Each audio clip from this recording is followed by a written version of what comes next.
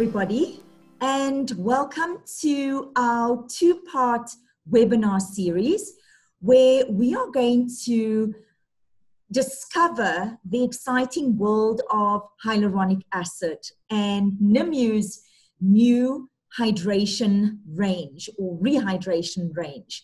And joining me all the way in Wales is Vicky Convey. Good morning, Vicky, and welcome to our webinar. It seems like a long time since we've done one of these before. Does morning, yes, definitely, Heidi. I couldn't even tell you the last one, but I'm excited all about hydration, eager to learn more. Fantastic. And yes, this is going to be a new launch um, that is coming next year in 2020. But we want to be able to give you some information in preparation of the launch of these um, three new products that will be coming out.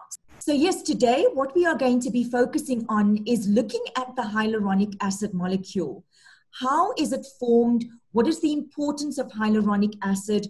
Where we as Nimue has used it before, and that will then lead us and prepare us into our next part two webinar, which will be actually all about the new hyaluronic acid ingredients and the product itself.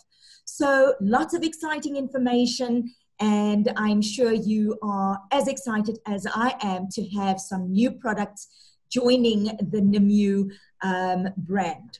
So, today we are going to be introduced to the three products. You're going to get a little glimpse of them before we touch on it in our next presentation.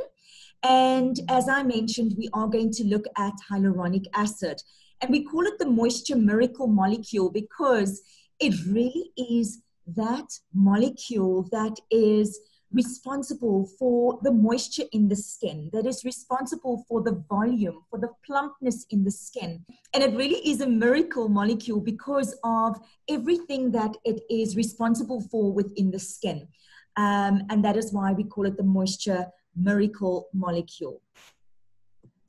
So I saw this in a presentation on one of our raw materials, and they said, What is the commonality between hydration in the skin and the little black dress? So, Vicky, can you tell me what do you think these two have in common? Gosh, um, I don't know. I, I mean, if I think of a little black black dress, I would probably think of it's your your go-to. Um, you know, you can't go wrong with a little black dress. Good. I think you're really on track there. I know they look so completely different, but yes, your they are both a basic and a timeless essential. So as you said, your go-to with a lot of problems within the skin, sometimes it's just looking at the hydration levels within the skin. So it is your go to. Um, so definitely, it is important that it is part of the basics in how we approach in treating the skin. And hydration is always going to be there, or the need for hydration is always going to be there. And I think, especially looking at um, what causes dehydration in the skin. With the environment that we're living in and our lifestyles, our hydration levels is taking a big beating. So we need to be able to be equipped and provide solutions to our clients in terms of maintaining the hydration levels within the skin. When we did consumer research, or when we look at Mintel consumer research, there is a very strong indication that dry and dehydrated skin is a big common concern. Um, and that spreads across most of the continents that we actually get our market research from. And it is something that consumers still is requesting and requiring it as a solution in their skincare products. So typically where we would experience dry and dehydrated skin is during seasonal um, climate changes. So you are going through um, going into winter. So of course it's going to be lots of central heating. it's going to be very dry and cold outside. And similarly, in the southern hemisphere, we're going to be having dry, hot summers. So when there is a seasonal change, we do see that the skin's natural moisture levels are affected. And again, we need to be able to um, have a solution in that. And we, the what consumers are looking for is um, a solution for dry and dehydrated skin, and they want hydration to be a benefit from their skincare products. Now, as a brand, Nimue, we continuously look at new active raw ingredients. And um, I know I've mentioned it in previous presentations that we do attend raw material conferences. Um, we have people from the different raw material suppliers globally that comes to our head office and they do presentations on wonderful, amazing new raw uh, material um, ingredients.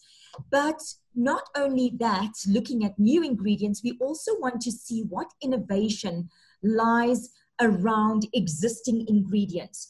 And I remember sitting in the first um, visit from a raw material supplier, and they spoke about hyaluronic acid in general. And then they spoke about, wow, this is what we do have, and this is what we can achieve with new hydration lines, with our new hydration um, molecules, hyaluronic acid molecules. So it's not just looking at new and exciting ingredients, but it's also looking at innovation around existing ingredients. So, of course, with that innovation around existing ingredients, it's allowing us to be able to access new innovative forms of hyaluronic acid. Um, and that is going to provide us with new advantages, which is going to be able to allow us to create new products around that innovative um, ingredients. So we want to still continue to achieve skin health. And we can do this with a new hydro concept that is providing us with unique smart technology um, within hyaluronic acid, and it's going to really amplify our natural hydration levels within the skin.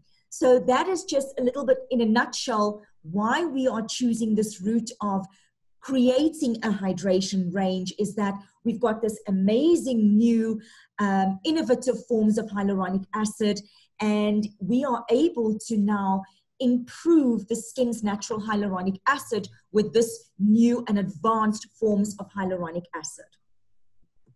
So yes, we want to change the approach to anti-aging and that is what we are going to be focusing on within the next two webinars.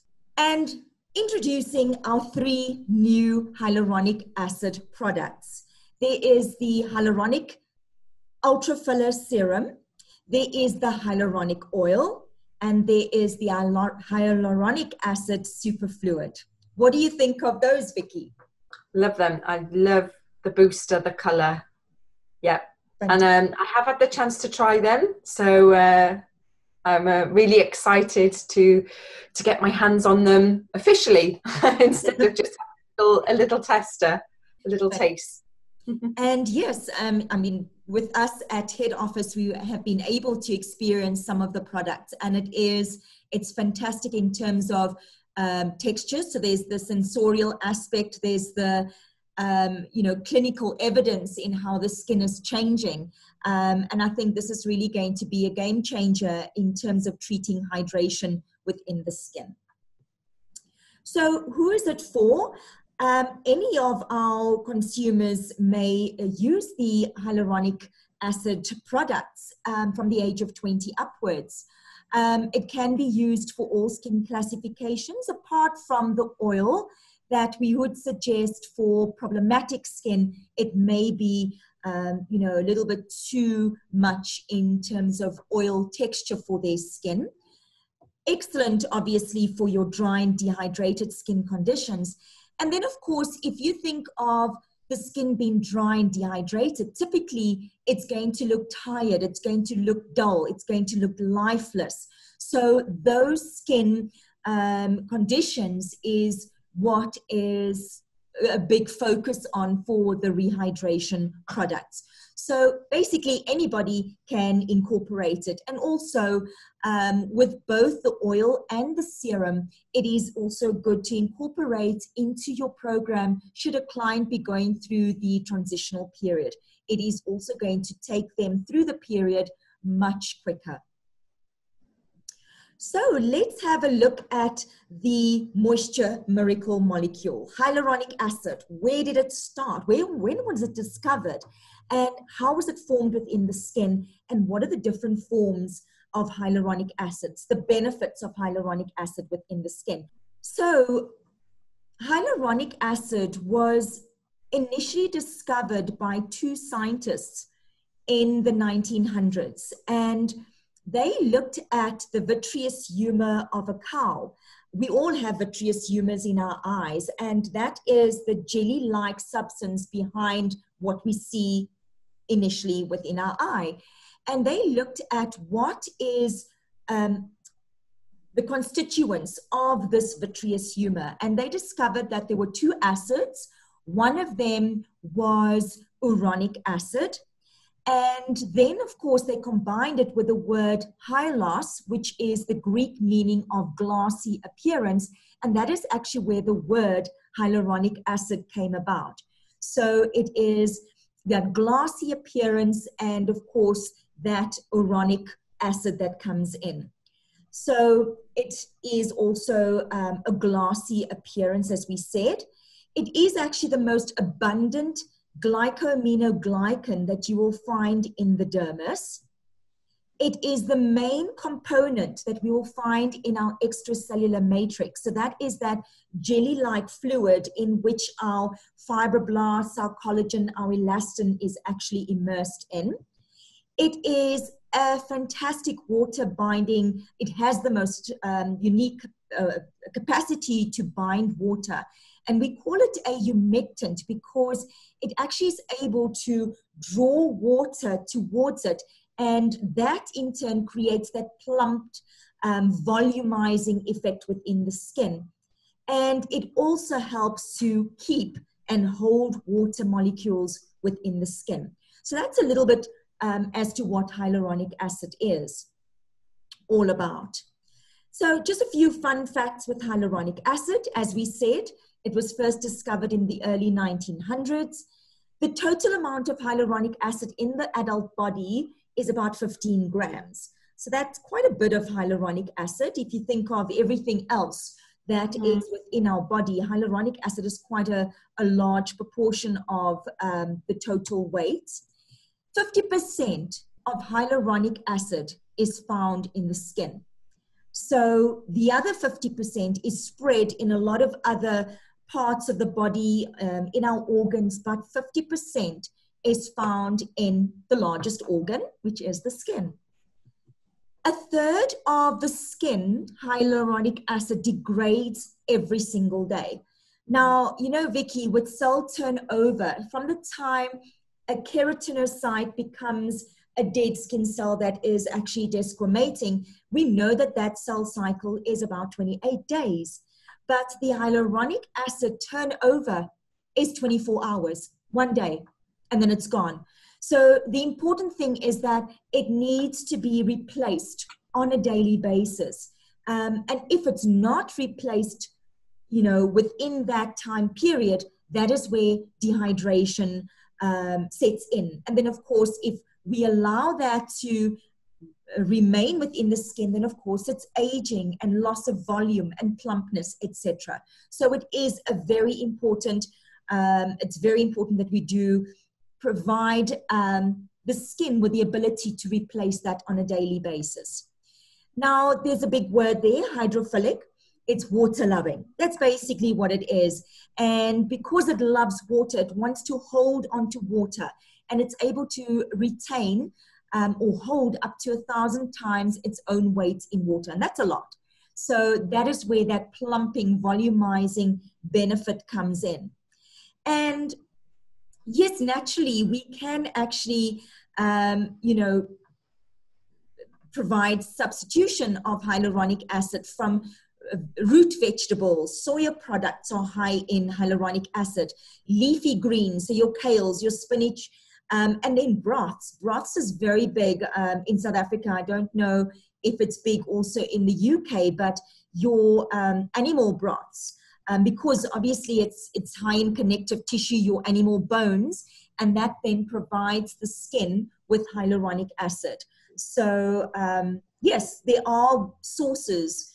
Um, internal sources that you can actually use to get your hyaluronic acid. Any fun facts that you know, perhaps, Vicky, on hyaluronic acid? No, I just always remember back in the college days, to be honest. I don't think we spoke about hyaluronic acid so much, but dehydration was a huge area, uh, subject area. And I think just living in Europe, you know, you're very aware that dehydration is probably the, one of the major concerns that clients have. So, not a fun fact, but just something I think that we we learn about very, very early within Absolutely. the industry. Yeah. Absolutely. Right. So when we where would we find hyaluronic acid? Naturally, as we said, it's in the body, um, in the vitreous humor. Interesting is the umbilical cord has a high percentage of hyaluronic acid. So that little baby in the uterus is holding on that umbilical cord is holding on to a lot of hyaluronic acid. That's why they have that beautiful plump skin when they come out. Um, synovial fluid, that is the cushioning between your um, bones, that joint area. So when there's a creaking of joints, it probably means also the synovial fluid and the hyaluronic acid in that area is possibly depleted. And then, of course, also in your organs, your lungs, your liver, um, those are also areas where you would find hyaluronic acid. And then, of course, as we said, 50% would be found within the skin. Um, just touching on what the functions of hyaluronic acid is in the body, it, as we said, is lubrication of your joints. So lack of hyaluronic acid means your your um, joints, your bones are then grinding against each mm. other, which is obviously becoming uncomfortable. It is a space filler in certain areas. Um, for example, like we said, the eye area. Um, it provides the framework for blood vessel formation and it is essential as a medium through which your cells are able to migrate. So, for example, um, I know we're referring to the skin here, but how your fibroblasts are able to move upwards through the dermis, they need a medium, and that is hyaluronic acid, your gags, um, which is there. Now, in the skin, we find that the content of hyaluronic acid is actually higher in the dermis than the epidermis. Um, again, because it's that cushioning, because it's that medium for migration. And then taking it one step further, the papillary dermis has a higher content of hyaluronic acid compared to your reticular dermis. If you think of in your papillary dermis, your collagen fibers, your elastin fibers is less loosely um, you can say it's less compacted in that area. So there's more space in which we would have hyaluronic acid versus your reticular dermis where it's more dense in collagen and um, elastin fibers. Your connective tissue is more dense. So there's less areas in which we would find hyaluronic acid. Right, so your epidermal hyaluronic acid, you'll find it mostly situation, situated in um, around the stratum granulosum area. And if you think of that particular area, it is where the cells are starting to lose keratin. It's starting to um, create um, your corneocytes moving upwards. So it is actually responsible for barrier protection. So that's why it's, um, you know, maintaining your water within the skin. So it's minimizing transepidermal water loss and it's able to also pull water from the dermis because mm. that's where your uh, more water is more abundant. Um, and of course, because it's lying higher up within the skin, we find that hyaluronic acid here is uh, more of a larger molecule, so it's a higher molecular weight, therefore situated more closely to the surface of the skin. Now, funny, I've always sorry, I've always thought of it as being in the dermis, and never ever thought about the epidermis. Do you know? I think we, you know, we get taught, especially at Nimue, about the the brick wall and you know the water content, but never even you know thought about hyaluronic acid being part of that. Absolutely, yeah. yeah.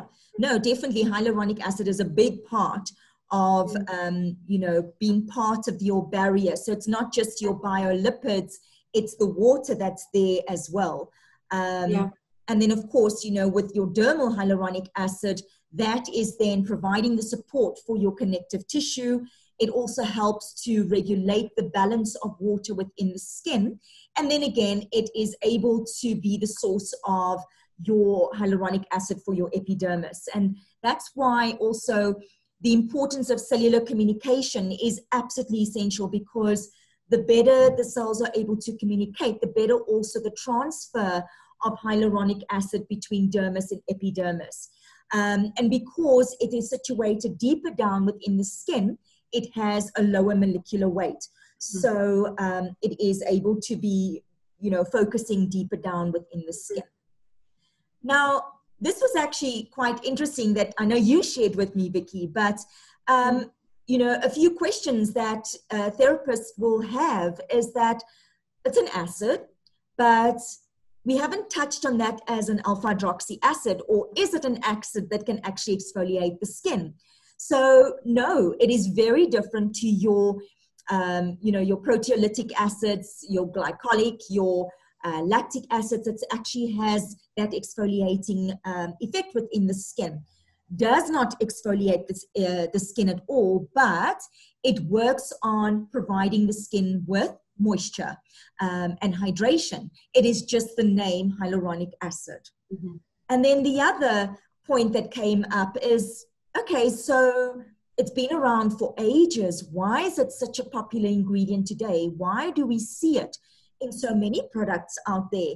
And I think, you know, when we touch on our um, product itself, we obviously would be getting the questions of how does this compare with this product, hyaluronic acid based product. And um, yes, it is a very popular ingredient, but again, because it is addressing dehydration. And we said in the beginning that it is one of the big concerns that clients have and one of their requests from a skincare brand. What can I do to treat my dehydration? And we know that if we allow dehydration to remain within the skin, it is one of the first signs of aging. So if we don't target dehydration, we may also accelerate the aging process. Um, again, because we now linked it to the barrier, if we have client having sensitivity and redness in the skin, it possibly is because the hydration levels and the hyaluronic acid levels within the skin is lower, meaning their barrier is impaired. So mm-hmm. everything is starting to now tie in together. And it's a wonderful, gentle, active ingredient that can be used for all skin conditions. So, right from your problematic skin condition to your client that has hypersensitivity, it's a great all rounder ingredient to treat the skin. And they always, you know, we always say, let's focus on hydrating the skin and so many other skin conditions can then be treated just yeah. by targeting dehydration. So where does it all begin? And now i know when i put this together um, you know and we we discussed it as an education team it was like wow you know this is not what we discussed in college. You know we just touched on hyaluronic acid itself but there's a whole new world out there in terms of how it is formed, where it's formed, how it breaks down.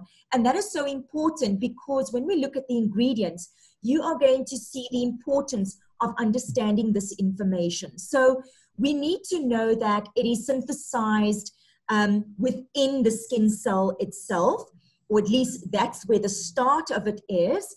Um, and that is by what we call the hyaluronic acid synthases. And it's an enzyme and this is, we see it on the inside of your cell membrane. So we know that the cell has a double membrane, double plasma membrane, And on the inside of your plasma membrane, which is situated inside the cells, this is where we actually find this hyaluronic acid synthases. And it is actually stimulated by um, various processes, but particularly growth factors, um, cytokines, which is your inflammatory um, responses. So let's say, for example, you wound the skin, um, you injure the skin in some way, your growth factors get stimulated, your cytokines get stimulated so that it sends a message, your white blood cells target that area to start the healing process.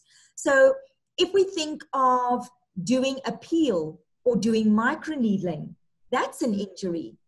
And you know that we always say once you've had a peel, your skin feels hydrated and plumper. You do microneedling, your skin feels hydrated and plumper. And that's also because we've stimulated hyaluronic acid as well as collagen within the skin. So that is creating an addition of hyaluronic acid within the skin. Now, it's seen that your epidermal hyaluronic acid may come from your keratinocytes and your dermal hyaluronic acid may come from your fibroblasts. Those are cells. And of course, they have those double membranes. So those can come from, um, you know, those particular cells. And again, um, just to reiterate the importance of having a healthy skin to be able to have the right um, amount of hyaluronic acid.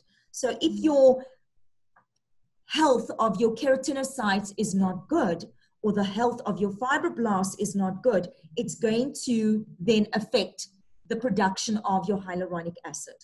Right. So the hyaluronic acid, where does it all begin? Where does it all start? And this is the interesting thing is that hyaluronic acid itself, it's the most simplest form of glycoaminoglycans. It's not complicated in structure at all. It's just two sugar molecules repeating itself to form this particular strand of sugar molecule, which is your hyaluronic acid. So, what it is, it is your two sugar molecules, which is D-glucuronic acid and N-acetyl D-glucosamine. And they then, they form together linked by bonds and that is forming your hyaluronic acid. So it's just a succession of D-glucuronic and N-acetyl D-glucosamine, simple sugar molecule. Now, how it actually forms as a molecule chain is that you have these particular uh, precursors, these sugar molecules inside your cell. They then go together through your hyaluronic acid synthases, which stimulates the production of your hyaluronic acid. It moves through this little channel of your plasma membrane and out comes your hyaluronic acid molecule. So that's actually very interesting because just two molecules together goes through a little channel together with your synthases. It now forms a chain, which is your hyaluronic acid. And I have another visual which actually shows how it is forming. So you have it on the inside of your cell membrane. It goes through this protein that is a little channel in your cell membrane and out comes your hyaluronic acid molecule. So we could say that. that would be like the fibroblast cell, and then obviously it's then excreted out of the fibroblast cell once it's gone through the two sugar molecules binding together, and then out comes out pops your hyaluronic acid. Absolutely, yes. Um, and then also the same with keratinocytes. It's exactly the same. Um, same keratinocyte cells it's got your synthases, it's got the two precursors. They go through the channel and out pops your hyaluronic acid. Right, so the main functions in the skin, it's responsible for cell growth and migration. Um, it's important for cellular communication.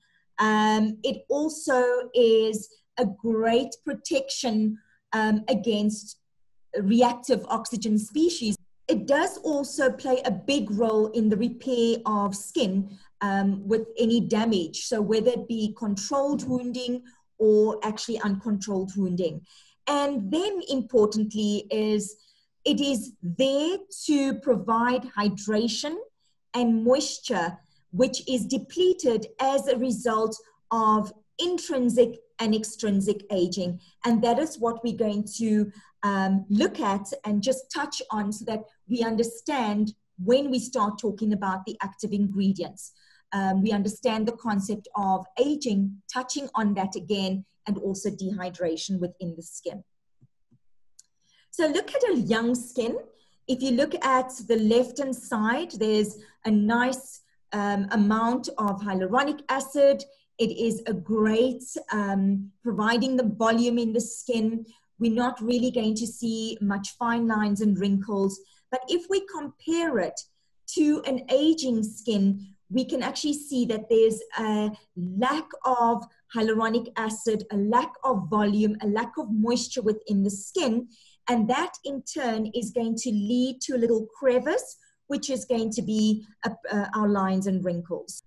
Okay, so there are two processes that we need to look at when we focus on aging. There is your natural chronological or um, what we call your intrinsic aging. And if we're referring specifically to hyaluronic acid, um, as we get older, naturally your hyaluronic acid starts degrading. And that is where we do see the lack of volume, the lack of plumpness, and the lines and wrinkles. And then also as we age, your skin's natural antioxidant defenses also start decreasing. So the skin is not able to fight against free radicals, which is then also going to prematurely age the skin, damage the lipids within the skin, your skin DNA, and of course your, your barrier. Now, looking at extrinsic aging, these are um, the effects of the outside environment, um, you know, climatic conditions, heat on the skin. And also, when the skin is exposed to the extrinsic um, factors, there's going to be an increase in reactive oxygen stress on the skin. And this in turn causes an increase in your matrix metalloproteinases.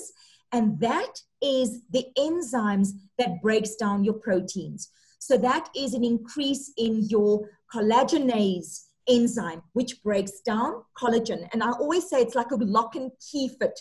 So your collagenase will break down your collagen protein elastase will break down your elastin protein, and then hyaluronidase breaks down your hyaluronic acid molecules. So this is a great example if we look at um, extrinsic factors. These are twins that have the same genetic uh, material passed into uh, through them. Twin A on the left hand side, the skin is aging we know it is going to be your um, chronological aging, but have a look at twin B. You can see that her aging is completely different. There is age spots, there's lines and wrinkles, there's sagging on the skin, and that is as a result of external factors creating um, premature aging and accelerating the aging process within her skin. So We've looked at intrinsic and extrinsic factors causing aging, but now there's also um, what is happening when the skin is exposed to pollution and light. So, Vicky, what do you think is happening to the skin when there is a effect with UV and with pollution? I think obviously nowadays um, we we're living in more sort of cities. Pollution is a hot topic. It's in the news all the time, especially with global warming and things like that. And I think the fact that when you you have a mix of the pollution, so let's just say the car fumes and the UV light mixing together, then that's naturally going to age the skin. And we've also seen, and research has showed us that it increases pigmentation as well. Mm. And um, I know from, from looking at studies when it comes to hyaluronic acid and protecting your skin and aging, there's a, a particular protein which is called sequestosome, which is an expression protein, and they've seen that when you're faced with this pollution and particularly with UV, which we are in 365 days a mm. year, that it's naturally going to decrease. So if your skin does not have this protection against the UV and pollution, you've got the added degrading of hyaluronic acid on that, which, as you said, is going to lead to the lines and wrinkles, the aging, the dullness, the sallowness. Mm-hmm. Um, so it plays a huge part, I think, that's something we probably didn't know about years ago. Exactly. And of course, I mean, Vicky, your skin has a natural way of protecting itself. Mm. It's your cell protection, a self protection mechanism within the skin. And unfortunately, this has been affected by the environment in which we live. So, added UV, added pollution. And that's actually preventing the skin from doing what it should, which is protecting itself. So, of course, this sequestosome is decreasing um, and getting less. So, the skin is not able to do what it's supposed to. And I think this is very important to remember because when we look at the ingredients later, we're going to come back to this and see how we can help the skin to function the way it's supposed to um, and protect itself even better. So, of course, you know, besides um, you know intrinsic and extrinsic aging, if we think particularly on um, the effects of certain things, so for example, ROS, it is causing an increase in those enzymes that we said. And the enzyme that we're particularly looking at um, that is causing a decrease in hyaluronic acid is your hyaluronidase. And what is also happening is there is a decrease in collagen and elastin synthesis within the skin. So we are aging faster. Um, and then we're losing water very rapidly. There's a decrease in hyaluronic acid because of what we spoke about, um, the different factors. Um, the length of your hyaluronic acid molecule is shortening. Okay, so it's not providing that intense hydration. And of course, with less moisture, it's going to lead to less dehydration. And there I have my little grape becoming a little shriveled up little raisin um, as time goes by. And that's what's happening to your skin cells. It's, you know, losing its moisture, it's losing its protection um, in terms of helping to provide barrier protection. And of course, that's going to lead to a lot of problems later. And then how it all ends, besides all of that that we just spoke about, but hyaluronic acid molecule, there is that MMP, which is hyaluronidase, which I spoke about. And that is a particular enzyme that we found find in the dermis and the epidermis. And what it does, this enzyme locks with your hyaluronic acid and it causes a breakdown of that hyaluronic acid chain. And the more you expose your skin to UV, the more that hyaluronic acid, um, your hyaluronidase is going to break down your hyaluronic acid. And that is why, you know, you go on a summer holiday and you get some sun rays and, you know, you see the skin actually almost looks very shriveled up besides the darkness or redness, but it looks very shriveled up. And that's because you've actually broken down your skin's hyaluronic acid. And that is because you produced too much hyaluronidase, which is now breaking down your hyaluronic acid. And then, of course, with ROS, which is a big factor for breaking down hyaluronic acid, because ROS is, you know, your free radicals, and it inc- an increase in ROS is going to also break down hyaluronic acid. And I've got a little visual you can actually see um, the long blue chains is your good, healthy hyaluronic acid mm. molecules. And when that hyaluronidase enzyme is stepping in, it starts breaking down your hyaluronic acid molecule into shorter, um, smaller chains, which is not going to give the skin the moisture that it essentially needs. So, just a, a quick recap if you have an increase in ROS um, as a result of extra, uh, your chronological or extrinsic aging. If you have a decrease in that protein, as we said, that sequestosome, if we have an increase in your MMPs, you're going to have a loss of hyaluronic acid. You're going to have a breakdown in that extracellular matrix in which your collagen, your elastin, um, your fibroblasts are actually immersed in. And what is going to happen on the surface of the skin? You're going to have skin sagging, the loss of, there's a loss of suppleness. The skin is going to lose that firmness. There's going to be a loss of volume, um, density. You know, you see sometimes as, um, you know, people naturally age, their skin seems to form quite hollows, um, mm. you know, around the eyes, around the cheeks. Um, and of course, in turn, also, there'll be lines and wrinkles um, that is then going to get deeper and deeper over time. So, this is what's happening in the skin. But now, what is it going to look like on the surface? You know, it's all fair and well to see that, but this is what we've seen dehydration, fine lines and wrinkles, dryness. The barrier is going to be decreased, as we said, that association between moisture and the barrier and then of course a loss of volume and plumpness.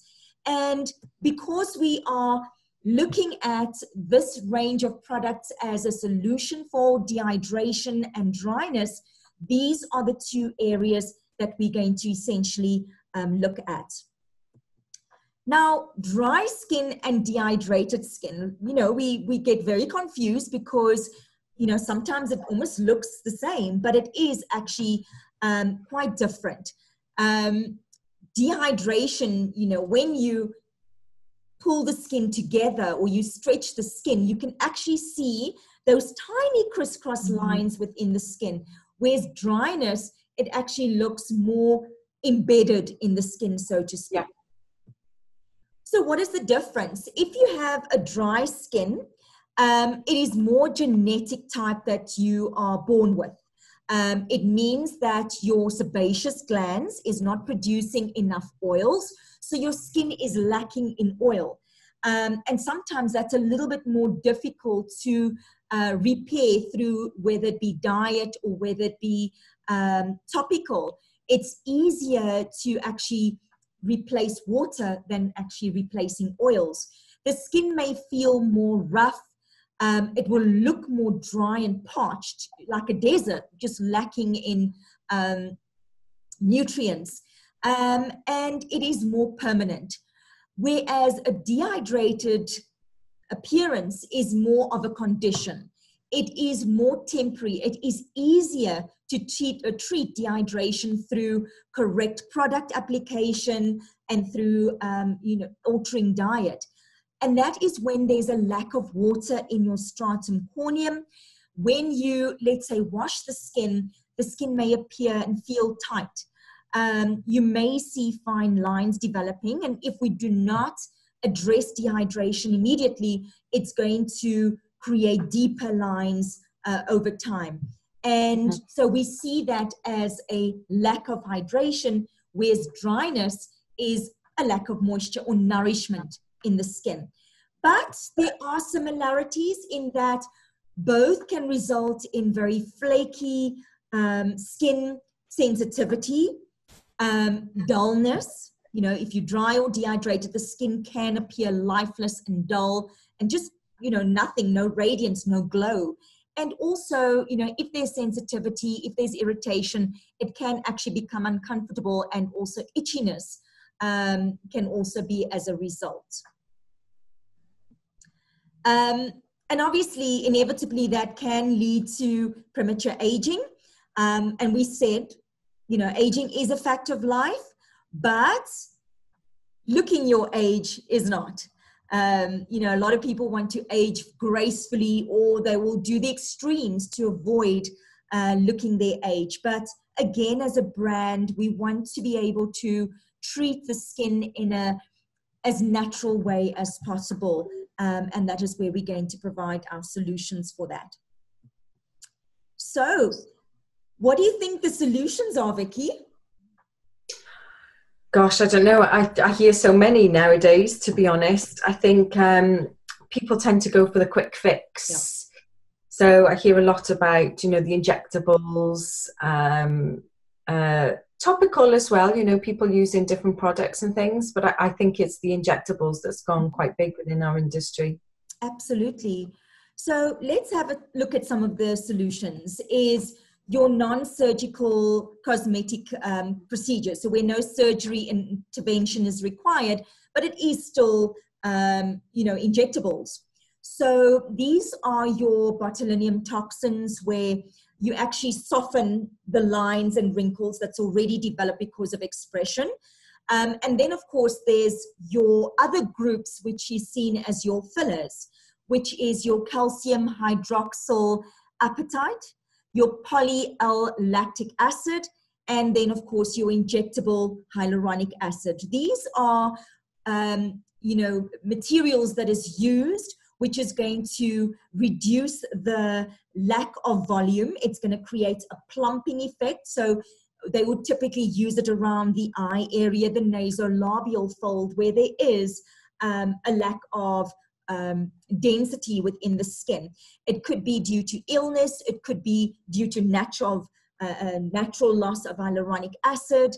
It could be due to um, all sorts, uh, you know, your environment. So those are more your quick uh, fixes where it can be, you would need it, you know, it can be done between six months um, redone every six months or sometimes up to two years in the case of your poly lactic acid. Um, so yes, it adds shape, structure, volume. It lasts six to six months to one year, but there are some side effects and complications. So let's look at some of them. It, it's expensive. Not everybody mm. is going to be able to afford going for those more quick fixes. Um, there are some clinical complications. Um, there'll be bleeding, there'll be bruising. Um, there's actually been known to sometimes have a loss of tissue. If you go into blood tissue, you can actually cause necrosis where the cells actually die off. And then what they have to do is they actually have to then take hyaluronidase and mm. inject that into the skin to break down that that they've injected into the skin. Mm. And then if we think of Nimue's philosophy, with these quick fixes, yes, there's always a place for it, and clients will still go for it, and you know, it's it's it's going to be um, a solution for many of our customers. But we have to just remember that it does not restore the barrier and it does not create any functional or structural changes within the skin. So, yes, there'll be some clients that would still have the injectables. But again, we would need to provide a solution to them in terms of let's help to improve the barrier so we don't further lose water within the skin. Mm. Let's help to allow your skin to function as it should. Let's change the functional capabilities of the skin, which will in turn help to improve the structure of the skin. So these are just a few um, current solutions um, in terms of injectables. So we've looked at the injectables, but obviously we need to be able to have an alternative solution, and that would be your topical um, ingredient, uh, hyaluronic acid as a topical ingredient. Now, hyaluronic acid on its own as an ingredient, um, it is not able to actually be used in a formulation because of the nature and the size of the molecule. So we would use the salt um, derivative of hyaluronic acid. So you will always see sodium hyaluronate one or two um, because that is the only way in which we can use hyaluronic acid as a molecule in a topical formulation. But hyaluronic acid in a topical, uh, whether it be a cream or gel uh, or serum, it is able to bind up to a thousand times its own weight in water and then, of course, the benefits to the skin, it does depend on the molecular weight. So the higher molecular weight will be more focusing on the surface in the stratum corneum because it's a bigger molecule, and the lower molecular weight will be more smaller molecule that is able to focus um, deeper into the skin. So the major difference is the length also and the weight of the hyaluronic acid itself. So if we think of hyaluronic acid to water, Um, you can say it's a ratio of one to a thousand. So, as we said, it's able to hold a thousand times its own weight in water. And we always talk about the molecular weight. Is it a low molecular weight or is it a high molecular weight? So, we said the lower penetrates deeper and the higher molecular weight has more of a superficial penetration into the skin. So just to keep that in mind again, as we talk about our various hyaluronic acid molecules, which we do have already and which we are introducing in our new range. So cross-linked hyaluronic acid. This is sodium hyaluronate cross polymer 1. I think we just need to remember it as cross-linked hyaluronic acid. This is um, a great ingredient in terms of being a higher molecular weight. It is actually able to form a film within this on the surface of the skin so it is able to build up on the barrier of the skin and also keep moisture in. So it helps to prevent transepidermal water loss. Very good also for hydrating and moisturizing within the skin. So not just hydration, but also keeping in, um, preventing the skin from breaking the barrier uh, down.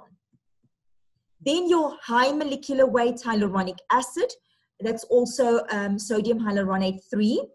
Because it's a higher molecular weight, it's forming a film on the skin. And this is what you'd say is your immediate plumping action um, that we would have on the surface of the skin. Great for moisturizing. And again, because you are, you know, protecting the skin and the surface, it prevents irritation within the skin. So great for uh, products that is targeting um, sensitivity, irritation. You'll find a higher molecular weight in um, of hyaluronic acid in there as well. Then your low molecular weight hyaluronic acid, as you can see in the visual, it is going deeper down into the skin, uh, particularly penetrating lower down into your um, through the stratum corneum. It is able to bind with water attracting water into the skin cells. It also is a great, um, you know, protection against oxidative stress. So overall, um, because it's working lower, it is able to provide superior moisturization within the skin.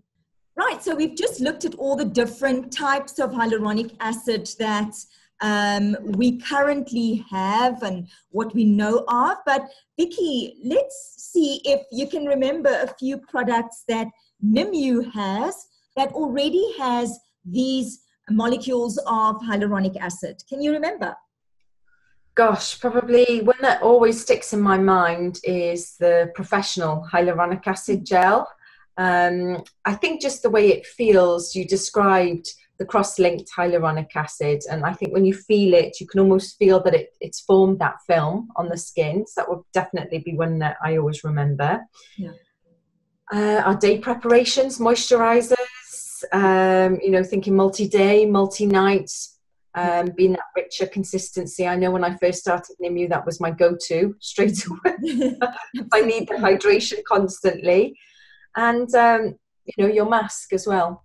Um, Excellent hydrating mask. Have I have I named them all? I think you've got them almost all there. Well done, Vicky. So yes, um, you know, if we think of environmentally damaged skin conditions, they need both the you know nourishment, the moisture, the barrier prepare, uh, repair, as well as the hydration. So Nimunite, multi-day plus, multi-night plus.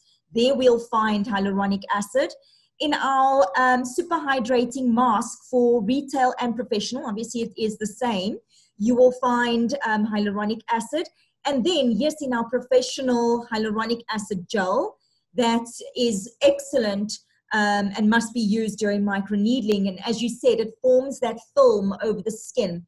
So you are helping to seal the channels that you've just created, but also it is working through all the different layers with cross-linked hyaluronic acid, low molecular weight and high molecular weight hyaluronic acid to give the skin that good boost of moisture and water that it's absolutely that is essentially looking for so that is what we currently have but it's not going to stop here there are some amazing new innovative forms of hyaluronic acid. And unfortunately, we're not going to touch on that now. We will go into part two where we'll look at the incredible um, benefits that more advanced hyaluronic acid can have for the skin and looking at the products in which we um, have now placed them that is going to take hydration or at least treating dehydration, treating dryness, it's going to take it to the next level. So I'm very excited to share that in the next webinar. Um, and yes, that is for now. And Vicky, anything further from your side? No, I mean that was great, Heidi. I think it's um, it's good to to really go in depth into hyaluronic acid. Uh, I think it's an area that we never really have spent much time going into at Nimue and understanding the importance of the acid. So it's good to to refresh and um, to go into more details and understand how it's formed and how it's degraded and um, you know look at, to what's available in the future and all the exciting things to come. So thank you. It's a pleasure. So, yes, until next time, thank you for joining us, and I look forward to sharing further information. Bye for now. Bye.